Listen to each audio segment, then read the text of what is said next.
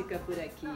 A qualidade artística e técnica de sua música é aplaudida pelo Grammy Latino, que premia as melhores produções da indústria fonográfica latino-americana. Seus CDs premiados fazem sucesso até no Japão, com influências de rock, folk e blues, mas sem perder a identidade pop e as referências da MPB, o nosso entrevistado de hoje se consolida como um dos grandes músicos da atualidade. O Opinião Livre conversa com Alexandre Grooves. Muito obrigada pela sua presença, Alexandre. Eu que agradeço, prazerzão estar aqui com você, Silvia. Essa música Beautiful Maria, você está onde? Fala um pouquinho dessa nossa abertura aí para você mesmo já se apresentar um pouco para gente. É, o Beautiful Maria é uma música do meu primeiro CD. Eu tenho dois CDs lançados autorais. E essa música é do primeiro CD. O primeiro CD se chama Amanhã Eu Não Vou Trabalhar, que é um disco que rendeu muita coisa legal para mim, assim, sabe? É, primeiro eu tive a participação do Seu Jorge, do Maurício Manieri, da Cel nesse disco, que pô, foi um prazerzaço ter eles comigo lá, né? Amigos. Logo no primeiro CD É, já ter esses exatamente. padrinhos maravilhosos. É, e, e esse disco ele foi lançado no Japão por uma gravadora de lá que chamava Magatoki e foi pré-selecionado para o Grammy Latino em três categorias e para o Grammy geral em duas categorias. Então foi assim um disco que me abriu muitas portas. Eu cheguei aí para os Estados Unidos fazer uma turnê de seis shows lá por causa desse tipo de coisa, né? Pelo fato de dele ter sido pré-selecionado para o Grammy, do iTunes ter colocado esse disco entre os 10 melhores CDs do ano que ele foi lançado. Então, para mim, que sou um artista novo, foi uma coisa assim surreal, né? De estar assim eu no, sendo indicado pelo site do iTunes, que é o disco, que é o site de venda de, de, de música maior do mundo. Tá eu lá, então tava o disco do Djavan, do Carlinhos Brown, da Maria Rita, da Cel, o meu. E o? Exatamente, Alexandre, então foi é, muito louco. Que é ser o primeiro CD, né? Geralmente as pessoas, nós, nós vivemos num país que as pessoas têm dificuldade em, né? A não ser que tenha muita sorte, mas em começar a gravar seu primeiro CD ou então às vezes um vídeo no YouTube, enfim. O seu primeiro CD já teve, né, padrinhos no, no nível que você falou de seu Jorge, enfim. Ah, aí já tem essa indicação. Como que foi a preparação? Porque a gente sabe que nada é por acaso. As, as, as oportunidades chegam e a gente se preparou muito para elas. É, Como foi você chegar até esse momento? É, então, o- esses amigos que eu criei, assim, né, como o seu Jorge, como Ele era seu o Maurício amigo? Manier, é, a gente, eu, eu tocava numa banda que chamava Gruveria, que é a minha antiga banda, e a gente tocava toda terça-feira numa casa no Itaim, e, e o seu Jorge ia praticamente toda semana e dava canja com a gente, a gente sempre tinha um artista convidado. Então você ia- e o Maurício Manieri? Não, eu com a minha antiga banda Gruveria. Ah, E aí ia o seu Jorge, ia o Jairzinho, ia a Luciana Assisti Mello. vocês. Assistir e canjear com a gente. E cada semana a gente chamava um deles para fazer uma, uma boa parte do show junto com a gente. Então a gente cantava algumas músicas dos discos deles, cantava, ah, eles cantavam algumas músicas nossas e, e fazia essa brincadeira. E, e, a gente ficou lá durante sete anos, toda semana. É, e lá eu conheci muita gente legal, né? Então esses artistas todos eu, eu fiz amizade naquela época. Nós estamos falando de que época? Você tinha quantos anos? Eu tinha uns 20, 24, 25 anos, por aí. Devia ser um lugar delicioso para é uma delícia. Para esses artistas irem lá, ouvir você, um ótimo som e ainda da canja, entendeu? Não, era muito legal, era uma coisa assim inacreditável. E, e esse, a música que dá nome ao disco, Amanhã Eu Não Vou Trabalhar, eu fiz em homenagem a essa balada, porque as pessoas ficavam lá, assim, era uma terça-feira, elas ficavam até quatro e meia, cinco horas da manhã é e iam trabalhar no dia seguinte, entendeu? E aí um dia eu falei, pô, vou inventar uma história do cara que vai chegar a inventar uma desculpa pro, pra, pro patrão, mas ele não vai trabalhar, entendeu? Essa música fala isso, fala assim, pô, eu, é, mas não dá eu não sei o que eu vou um inventar. Dela? É, Toca, como é que é amanhã? Aquela que fez sucesso? Essa que tem a participação do seu Jorge, né?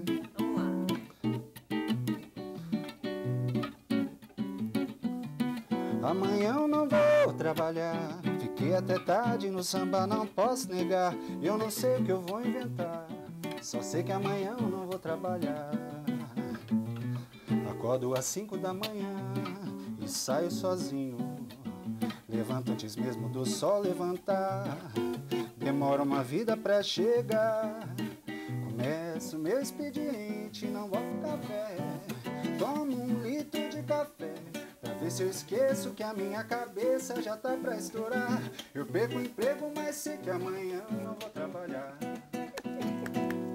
Nossa, tudo a ver, né? Com a boemia de São Paulo, né? É isso aí. E com essa música foi o carro-chefe para você, para o seu Jorge participar. Isso. Você convidou? Como é que foi?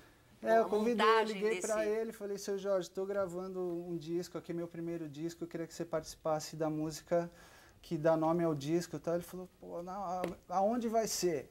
É agora, então. Então ele foi lá pra minha casa, eu gravei esse- boa parte do meu disco na minha casa e foi demais, porque no disco ele, ele começa falando na música, ele entra nessa máximo. história, assim, fala, pô, bicho, ontem a gente foi na balada, você acabou. É. aquele jeitão dele. Você assim, deixou à né? vontade, né? Deixei super. E, ele, e aí ele domina, né? Ele tem. É um talento, assim, uma coisa que. É, sabe, inegável, né? E a música entrou quando na sua vida? Desde pequeno, assim, quando eu tinha sete anos, minha mãe me colocou para fazer aula de piano na escola do Zimbo Trio. E Justo lá- na do Zimbutril, já, ali já é para gostar mesmo. É, e aí lá a gente começa com uma inicialização musical que é na flauta doce. Depois de um tempo você já vai para o piano. Eles obrigatoriamente você começa pelo piano. E aí depois de cinco anos de piano eu poderia escolher um outro instrumento que eu quisesse. Aí escolhi o contrabaixo. Então fazia piano e contrabaixo. Então naquela época já começou a, coisa do multi-instrumentista. Porque aí eu tocava piano, contrabaixo, flauta. Aí fui começar a tocar nas bandas da escola, aprendi a tocar violão com a guitarrista da minha banda. Olha o que, que é uma alfabetização musical, que coisa É, interessante exatamente. isso, Quando né? você começa pelo piano, você já tem um- uma base assim que você pode depois ir para qualquer instrumento. Olha que né? interessante Muito completo. isso. Quer dizer que para você que está querendo começar a, a aprender música, a, base é o piano. É, o piano é o que Olha dá que a- uma base mais completa. Mas eu, eu indico assim para as pessoas que que estão começando a querem começar a tocar um instrumento, começar por aquele que ela gosta mais, né? Pra Não já precisa incentivar, falar, ah, né? preciso então começar pelo piano mesmo sem gostar. Não, você gosta de violão, toca violão. Gosta de bateria, vai para bateria, entendeu? Acho que o mais importante é gostar. E aí isso vai facilitar o caminho, porque é um caminho árduo, né? Árduo, Alexandre. Alexandre, até você chegar nessa banda que foi muito sucesso numa casa aqui em São Paulo, quer dizer, você estava até falando, né? Tanta gente, esses maravilhosos que iam lá e subiam e dançavam com você. É, qual foi esse teu caminho para você chegar para montar essa sua banda? É, eu, eu- então eu fiz, eu fiz um longo percurso lá no clã, né? Eu estudei durante 14 anos lá. E aí comecei a tocar nas bandas da escola, depois nas bandas da faculdade. E o apelido Grooves veio de lá, né? Que eu tocava adorava uma banda que chamava Infectious Grooves. E naquela época eu tocava baixo nas bandas da faculdade, né? É. E, e aí o pessoal fala, toca Infectious Grooves. Aí eu ia lá e tocava. Ficava, toca Infectious Grooves. Era o cara que toca Infectious Grooves, o Grooves. E aí pegou tanto que as pessoas já nem sabiam que eu chamava Alexandre, né? Então eu assumi isso pro, pro meu nome artístico, né? Depois acabou é, é a música. É o nome da banda. Ah, é da uma banda. que eu banda. adorava, assim, é. E até chegar na, na indicação pro, pro Ah, Grammy. então, deixa eu continuar o caminho aqui, né? Aí comecei a tocar nas, nas, eh, nas bandas de faculdade e tal. De repente apareceu uma oportunidade. Eu já tinha cinco bandas naquela época, era uma loucura de conciliar a faculdade com, com a música e tal. Aí apareceu a oportunidade de eu tocar com o Maurício Manieri. Eu Uhum. entrei tocando teclado, percussão, violão e vocal. Eu fazia meio que um Tá. líbero, assim, né? Eu tocava de tudo um pouco. E aí entrei, aí a gente começou, ele já estava no auge, assim, fazendo 14, 15 shows por mês. E E, aí eu lá? tranquei, acabei tran- trancando a faculdade e comecei a tocar com ele. Toquei durante 12 anos com, Ma- com o Maurício, acompanhando ele. E isso foi uma grande escola, né, para aprender sobre tanto música quanto show business e, Uhum. e tudo mais. E comecei a planejar ter uma, uma coisa minha, assim. Nessa mesma época que eu tocava com o Maurício, eu tocava com a Groveria. Foi uma coisa que, que era ao mesmo tempo, assim, né. Eu, eu ia conciliando, mas era mais fácil do que conciliar a faculdade, né. Mas depois de um, de um certo tempo assim de gruveria e, e do Maurício, eu falei, pô, agora eu quero fazer um negócio meu. E aí lancei meu primeiro disco. E aí começou tudo, né? Aí veio a pré-seleção pro Grammy, veio o disco no Japão e essa escolha do iTunes e tudo mais. né? E foi um disco que teve uma vendagem muito boa. Aquela época ainda vendia mais CDs do que hoje em dia, né? Hoje em dia eu, eu vejo mais os números do Spotify, assim, do que de CD, assim, CD hoje em dia é, é muito... Tem gente que nem tem mais toca CD em casa, É. né? Mas você vê que esse caminho todo a gente acha que é fácil, mas não é, né? Porque tem todo essa, esses 14 anos de escola, 12 anos com Maurício Manieri, quer dizer, muita, muita estrada aí Ah, até chegar. No, no bloco, é, no próximo bloco, nós vamos falar justamente desse Alexandre que toca vários instrumentos, né? Legal. Mas vamos terminar já para dar aquela aquecida com uma música que faz parte do atual CD, né? Isso. É tudo gente. É tudo isso? gente, é então isso só aí. pra gente já ir aquecendo para falar do, do CD atual. Vamos lá. Legal. Essa música, só para falar, essa música, no final do ano passado, ela ganhou um prêmio que chama Prêmio Catavento, que é idealizado pelo jornalista o Solano Ribeiro. Obrigado. Aham. E Que já é uma aqui música premiadíssima. Já é uma música premiada. Muito Vamos lá, é bem. tudo gente. Então vamos lá.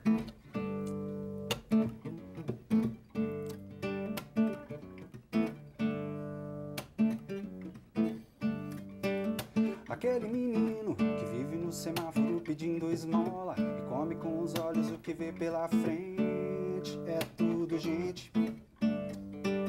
Aquele rapaz que gosta muito mais de garotos que garotas, dessa vida ser feliz e contente. É tudo gente. Aquele negão, aquela japonesa, o índio branco mameluco que tem sua beleza só por ser diferente. É tudo gente, é tudo gente, é tudo igual a gente. Não precisa ser inteligente pra entender.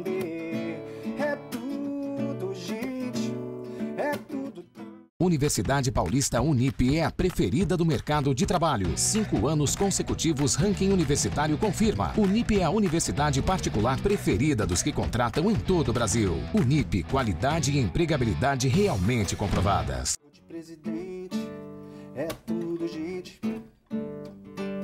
Aquele judeu, aquele muçulmano, protestante, cristão, espírita, taoísta, ou crente, é tudo gente.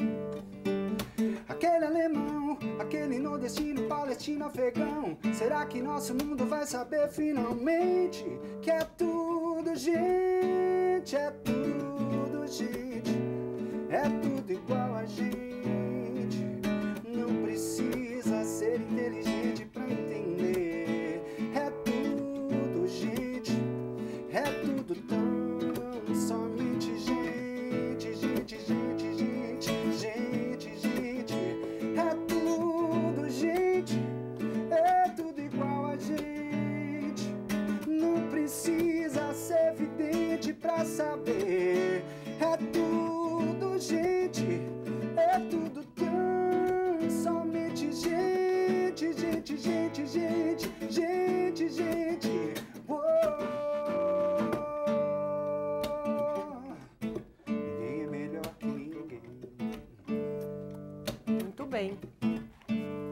Alexandre, essa música, ela, é, acho que a indicação, deixa eu tentar entender, né, o que leva uma música a, ter, a ser indicada para o Grammy.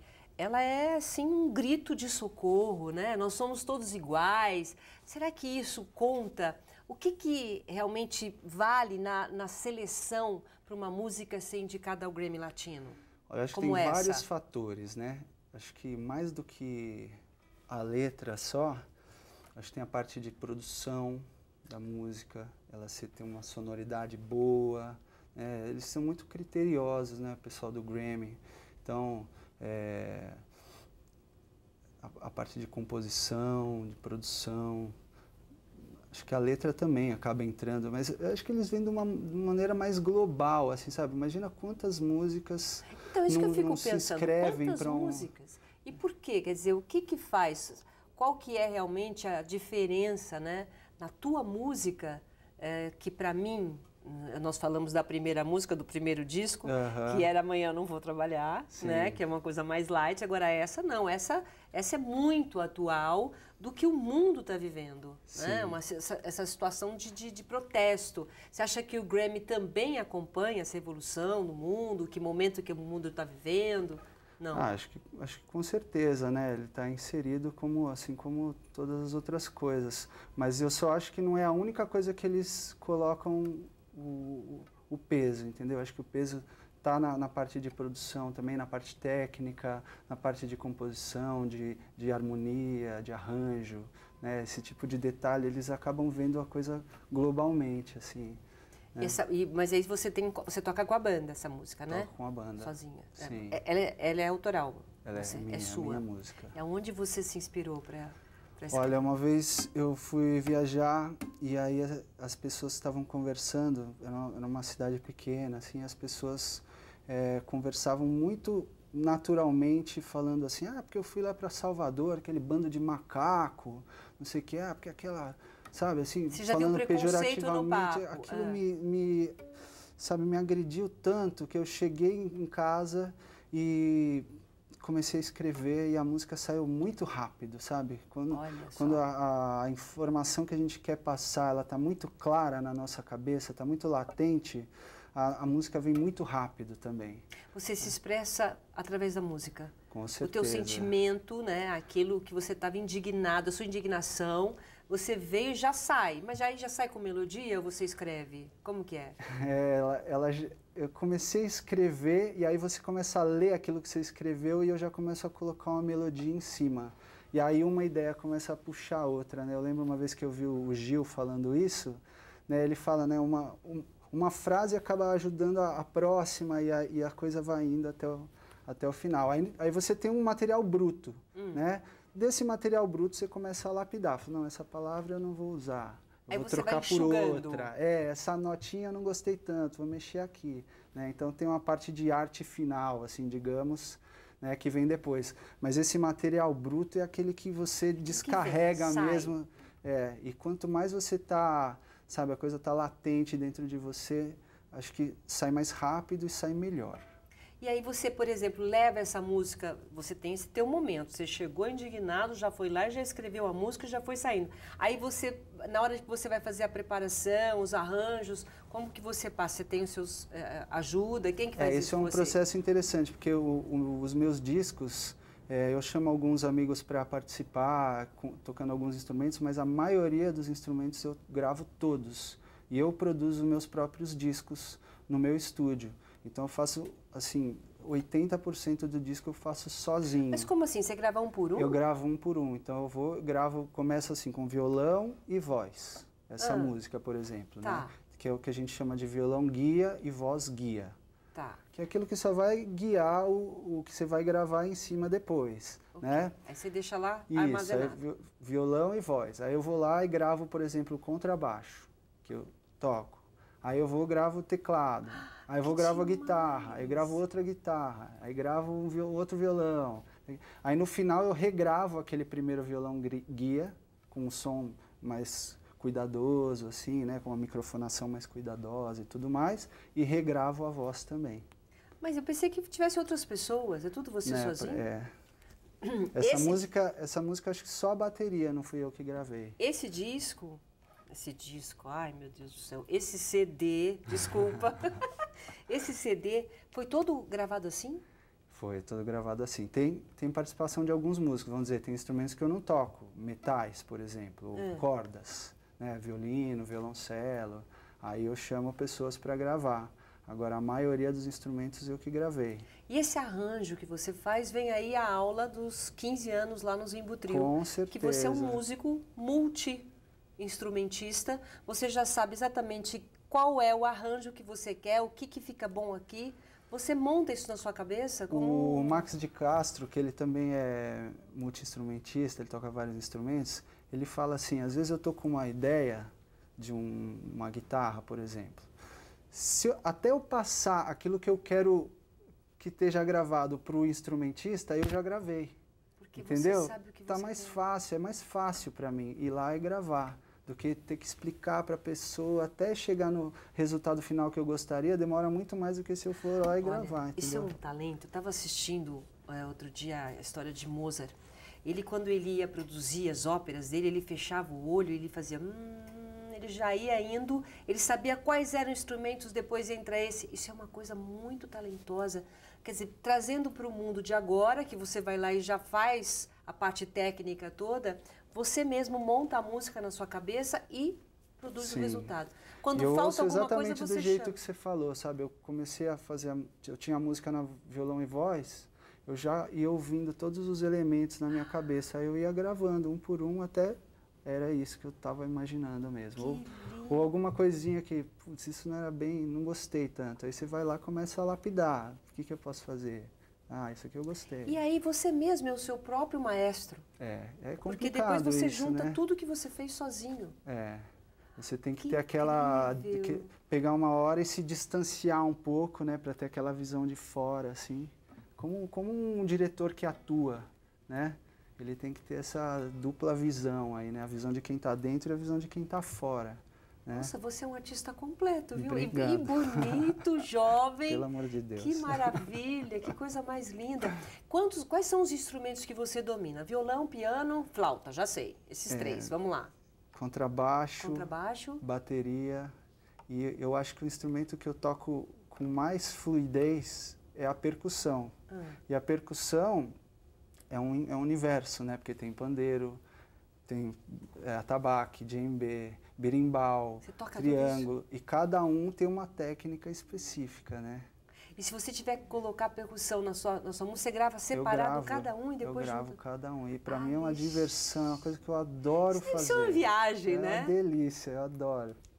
E esse, é, é, tem esse instrumento aí que chama ukulele. Ukulele. Vamos, vamos trocar só para você Vamos. contar um pouquinho, porque eu confesso para você que eu não conheço.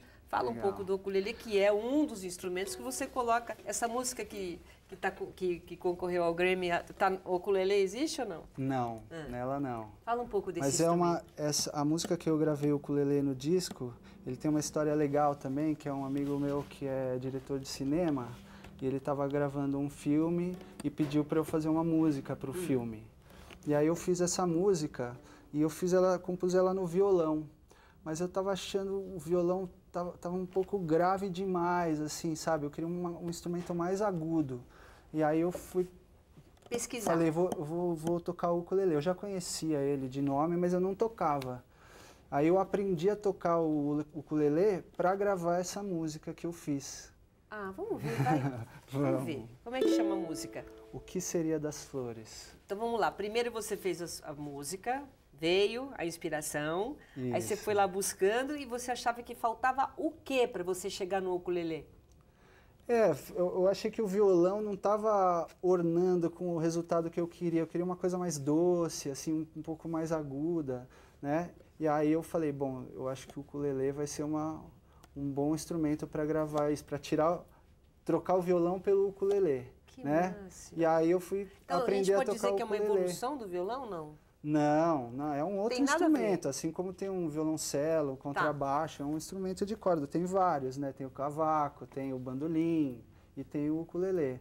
O ukulele é um instrumento havaiano Havaiano. e que dizem que veio de Portugal, né, do, do, do próprio bandolim, dos instrumentos, do próprio Um cavaquinho, né. Ai, que que são legal. instrumentos de origem ibérica, né, Uhum. e chegou lá no, no Havaí e aí eles fizeram essa, essa versão, assim como o birimbau é uma versão de um instrumento africano, né, mas que é de origem brasileira, o ukulele é um, é um- é um instrumento de bom. origem Então vamos ver como é que fica Havaiana. o som. O que seria das flores?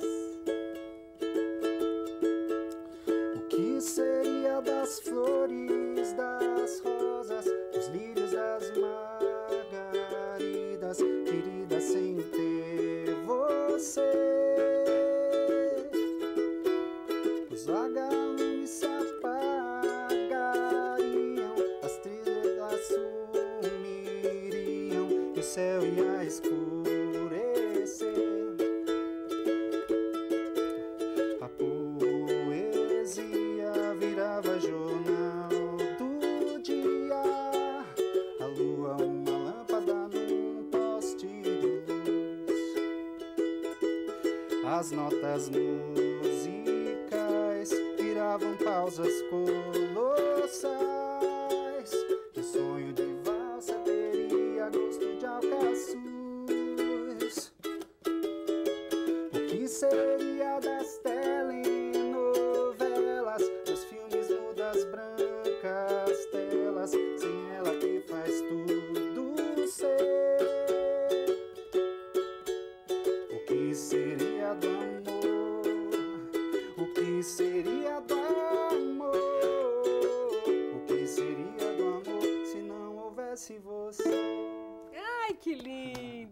Alexandre. Olha, foi um prazer receber você aqui. Obrigado, Tá? Eu nem imaginava que existisse um artista completo dessa forma, mas Ah, assim, isso, é, tão dedicado, né?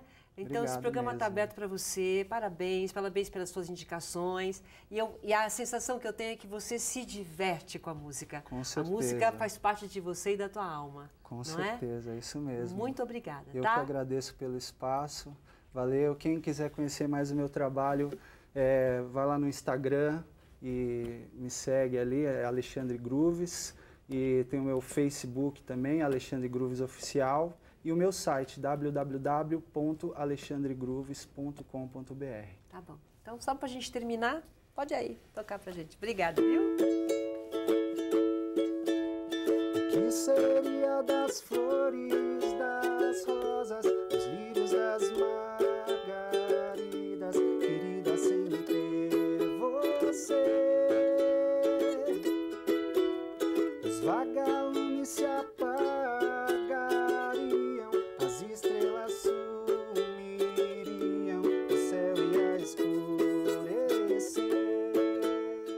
Universidade Paulista Unip é a preferida do mercado de trabalho. Cinco anos consecutivos, ranking universitário confirma. Unip é a universidade particular preferida dos que contratam em todo o Brasil. Unip, qualidade e empregabilidade realmente comprovadas.